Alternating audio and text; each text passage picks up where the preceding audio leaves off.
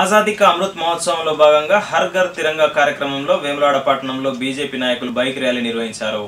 తిప్పాపురం హరిత హోటల్ నుండి ప్రారంభమైన ర్యాలీ గాంధీనగర్ వాసవినగర్ జాతర గ్రౌండ్ మెయిన్ రోడ్డు నుండి సాగి అంబేద్కర్ విగ్రహం వద్ద ర్యాలీ ముగిసింది. కార్యక్రమంలో జాతీయ గీతాలు ఆలపిస్తూ జాతీయ జెండాలు పట్టుకుని ర్యాలీలో పాల్గొన్నారు. కార్యక్రమంలో బీజేపీ జిల్లా అధ్యక్షులు ప్రతాప రామకృష్ణ జిల్లా ఇన్ఛార్జ్ గంగాడి మోహన్ రెడ్డి జిల్లా ప్రధాన కార్యదర్శి రేగుల మల్లికార్జున్ రాష్ట్ర కార్యవర్గ సభ్యులు ఎర్రం మహేష్ కౌన్సిలర్ రేగుల సంతోష్ బాబు నాయకులు జక్కుల తిరుపతి మార్త సత్తయ్య గొట్టె రామచంద్రం బుర్ర శేఖర్ ముప్పిడి శ్రీనివాస్ అన్నారం శ్రీనివాస్ గడ్డమీది శ్రీనివాస్ రామతీర్థ హరీష్ సుమంత్ రెడ్డి జింకా అనిల్ మహంకాళి శ్రీనివాస్ నాయకులు కార్యకర్తలు పాల్గొన్నారు.